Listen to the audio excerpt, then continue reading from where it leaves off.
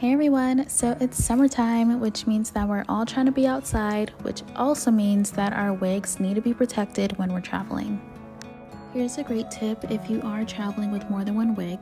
You're going to take your shorter wig and place the wig cap inside of your longer wig cap, allowing both to fit perfectly in your Milano travel case. Next, we're going to gently place our wig into the case, making sure that our face framing pieces are tucked on the outside of the cap to avoid any awkward kinks when arrived to our destination. Once arrived, you're going to take out your wig, shake it out, throw it on, or put it on a wig stand, and you're good to go.